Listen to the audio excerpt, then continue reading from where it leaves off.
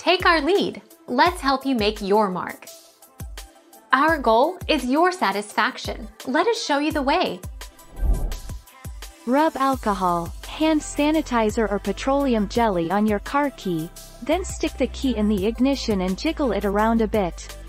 If you use the jelly, be sure to wipe your car keys off afterward.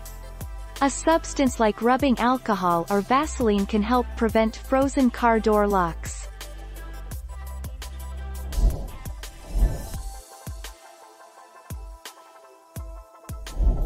Take our lead. Let's help you make your mark. Pour warm water in a steady stream onto the ice that is jamming the door shut.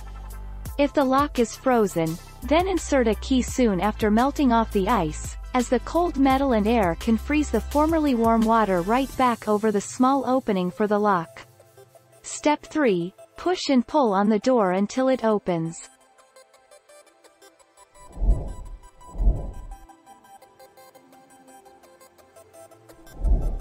Make your mark. Take our lead. How to start a car with a frozen battery. Find out if the battery is actually frozen, or merely dead. Plug in the car if your car is equipped with a block heater. Remove the frozen battery from the car. Tow the vehicle to a heated area if you do not want to remove the battery.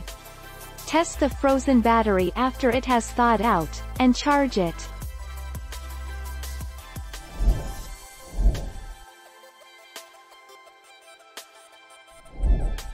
Take our lead. Maybe put some hot tap water in there and spray it along the outside edges of the trunk. Run it through a car wash, get it unstuck, and then dry off the seal very well before closing again. Call your regular car repair place and ask if they can let you bring it into an empty bay.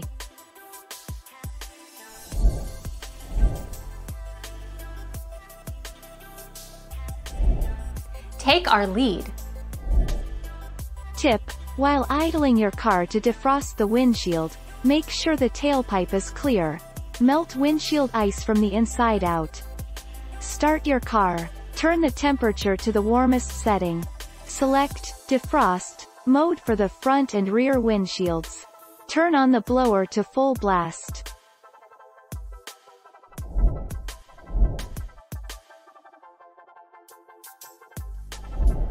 Make your mark. Take our lead.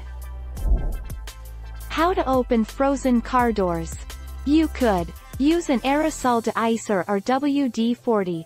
Try a deicer with a heating element. Warm your key gently with a flame.